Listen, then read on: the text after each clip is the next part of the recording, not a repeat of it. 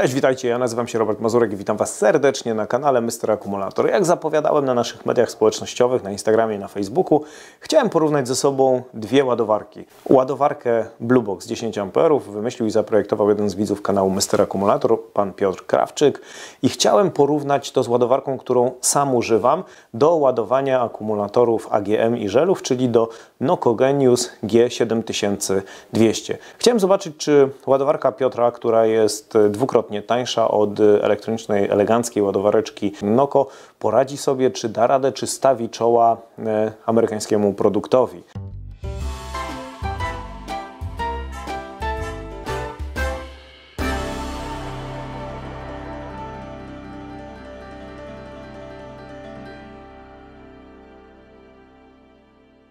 Aby móc to sprawdzić, wybrałem sobie tryb, który mnie bardzo interesuje, a bardzo mnie interesuje w ostatnim czasie tryb ładowania AGM, ten tak zwany zimny cold, czyli ten tryb, w którym e, ładowarki podbijają napięcie do 14,7 V, jeżeli chodzi o ładowanie akumulatorów AGM-ów. Jako tło posłużą mi tutaj akumulatory AGM produkowane przez austriacką firmę, przez austriackiego Bannera w Lincu i to jest akumulator 92 Ah, 850 A prądu rozruchowego według tego, co deklaruje producent. O tym, jak zbudowane są tego rodzaju akumulatory na tle zwykłych akumulatorów, w których elektrolit występuje w postaci płynnej, zrobiłem kiedyś film. Kartę do tego filmu zamieszczę dokładnie w tym miejscu. Zachęcam, zaglądnij, oglądnij, bo tam zobaczysz, jak to wygląda dokładnie od środka. Czym się różnią akumulatory akumulatory AGM rozruchowe od zwykłych akumulatorów rozruchowych? Otóż różnią się tym, że elektrolit w tych akumulatorach nie występuje w postaci płynnej. Płytę dodatnią i ujemną rozdziera separator, który nazywamy AGM, z angielskiego Absorbent Glass Material i właśnie w ten materiał wchłonięty jest elektrolit. Ten elektrolit wypełnia ten materiał, pozostawiając wolne przestrzenie, aby mogło tam dochodzić w nich do dodatkowych reakcji elektrochemicznych. Akumulatory wykonane w technologii AGM, akumulatory tego typu mają bardzo niską rezystancję wewnętrzną dzięki swojej konstrukcji, przez co prąd w bardzo łatwy sposób może schodzić z płyt i zostać dostarczony dla Ciebie, użytkowników, w tej chwili, kiedy będziesz go potrzebował. Natomiast jeżeli chodzi o zastosowanie, jeżeli chodzi o działanie tego typu akumulatora, to on tak na dobrą sprawę nie różni się aż tak bardzo od zwykłego akumulatora rozruchowego. Jeden i drugi posiada określone napięcie, powyżej 12 V, w pełni naładowany w okolicach 12,8 0,8 V. Jeden i drugi jest w stanie uruchomić silnik. Akumulatory AGM natomiast są bardzo, ale to bardzo wrażliwe na temperaturę. O tym, czy można zamienić akumulator AGM na EFB, czy też na zwykły akumulator. Zrobiłem kiedyś film, w którym wypowiedziałem się dokładnie na temat tych trzech różnych technologii. Jeżeli interesuje Cię ten temat szczegółowo, zamieszczam tutaj kolejną kartę i odsyłam do tego filmu. A teraz przejdźmy do konkretów. Do firmy Świat Akumulatorów z ostatniej dostawy dotarły te akumulatory razem z innymi i pozwoliłem sobie kolegom z szczecińskiej firmy Świat Akumulatorów na kilka dni podebrać te akumulatory. Najpierw sprawdziłem parametry, z jakimi te akumulatory zostały dostarczone do Szczecina, do Świata Akumulatorów. Pierwszy z tych akumulatorów miał napięcie 12,76 V, i przy użyciu Midtronika MDX600 oszacowany prąd 852 A według normy EN. Drugi z tych akumulatorów miał napięcie 12,78 V i prąd rozruchowy oszacowany przy użyciu Midtronika 839 A według normy EN. No więc dane wyjściowe już mam. Teraz trzeba przygotować te akumulatory tak, żeby Bluebox 10A i Noco G7200 mogły pokazać na co je stać. W związku z czym przy użyciu Alphabata Pro postanowiłem rozładować te akumulatory do bezpiecznego napięcia, tam 10,5 V, tak jak robi to standardowo Alphabat, który akumulatory o pojemności większej niż 50 A rozładowuje prądem o natężeniu 30 A. Przy okazji tego dowiemy się, z jaką pojemnością tak naprawdę kupiliśmy te akumulatory, bo firma Świata Akumulatorów na zamówieniu złożyła zamówienie, że chce kupić akumulatory 92 Ah, a tutaj zobaczcie, pierwszy z tych akumulatorów rozładowuje się przez 2 godziny 24 minuty, co w przeliczeniu na amperogodziny daje 107 amperogodzin, czyli tutaj nie jest 92 amperogodziny. Ten akumulator rozładowywany w temperaturze 12 stopni Celsjusza, było 12 stopni wtedy, kiedy przygotowywałem te akumulatory do mm, testu ładowarek, On ma 107 amperogodzin.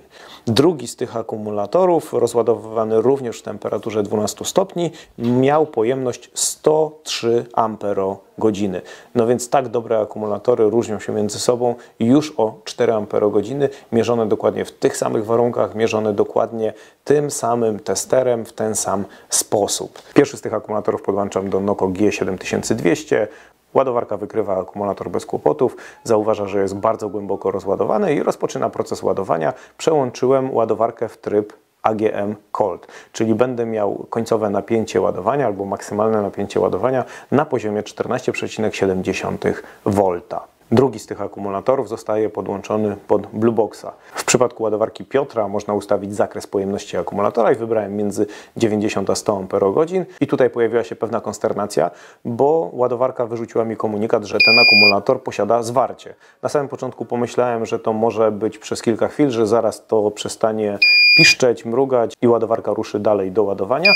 Natomiast nie stało się tak. Odłączyłem ładowarkę i podłączyłem Midtronika, aby upewnić się, czy przypadkiem no, ten akumulator może faktycznie ma zwarcie. Midtronik nie potwierdził obaw, kazał, że ten akumulator jest mocno rozładowany, naładuj. Podłączyłem jeszcze raz ładowarkę Piotra i ten komunikat zaczął się cały czas pojawiać. Pomyślałem sobie, że może po prostu jest to zbyt duża pojemność i zaznaczyłem, że jest to akumulator między 70 a 80 amperogodzin, jeżeli chodzi o pojemność i o dziwo ładowarka ruszyła. Przestał pojawiać się ten komunikat o zwarciu. Pozwoliłem tej ładowarce popracować e, kilka chwil z tą taką mniejszą pojemnością i przełączyłem ją z powrotem na większą pojemność i znowu pojawił się ten komunikat o zwarciu, w związku z czym postanowiłem na kilka godzin zostawić ten akumulator podłączony do ładowarki Bluebox 10 z tą mniejszą pojemnością zaznaczoną w trakcie podłączania do ładowania.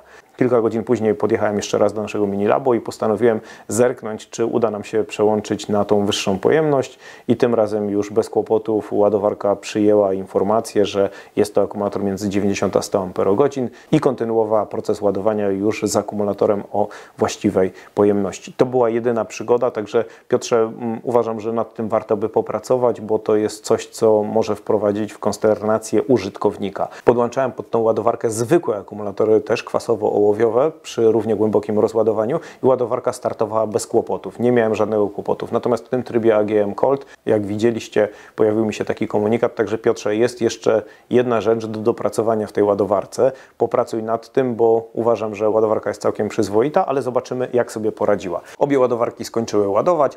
W Noko pojawia się zielona dioda LED, która wskazuje, że zakończyła swoją pracę. Na ładowarce Bluebox również pojawia się informacja, że ona zakończyła ładować i te akumulatory odłączyły od tych ładowareczek i odczekałem 48 godzin, trochę więcej niż 48 godzin, aby móc zaprezentować Wam wyniki. Akumulator Banner 92 Ah AGM ładowany przez Noco G7200 po dwóch dobach, troszkę ponad dwóch dobach ma napięcie 12,96 V i prąd rozruchowy 849 A.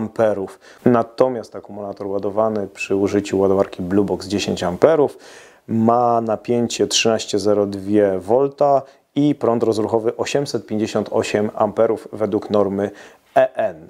I teraz sprawdzimy pojemność, czyli kluczowy parametr dla mnie, co te ładowareczki były w stanie zrobić, jeżeli chodzi o e, pojemność, jak to wygląda na tle wyjściowym, czyli tym, jak akumulatory zachowały się przy rozładowaniu z chwilą, kiedy przyjechały z Lincu do Szczecina. No więc akumulator Banner 92 Ah AGM naładowany przy użyciu ładowarki G7200 Noco rozładowywał się przez 2 godziny 20 minut i w przeliczeniu, w oszacowaniu na amperogodziny wychodzi nam, że mamy 102 amperogodziny. Noco odtworzyło 102 amperogodziny, a wyjściowo mieliśmy 107. Ten akumulator podłączony pod rozładowalnicę po naładowaniu przez Blueboxa 10 10 amperów, rozładowywał się 2 godziny 19 minut, 139 minut. W przeliczeniu to na amperogodziny wychodzi nam 102 amperogodziny. Mieliśmy wyjściowo 103, odtworzył 102. Nie będę ukrywał, ten teścik zrobiłem przede wszystkim dla siebie, gdyż w ostatnim czasie zdarzyło mi się kilka razy używać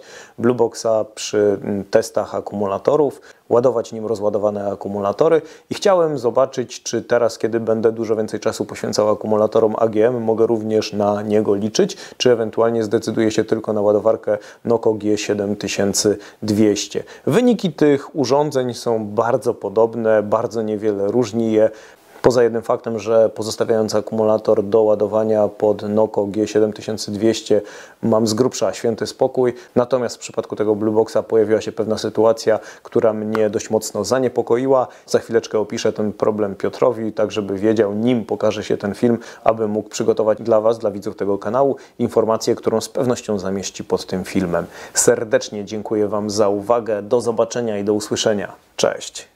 Pozostaw swój ślad klikając w odpowiednią łapkę. Napisz w komentarzu opinię na temat zagadnień poruszonych w tym filmie.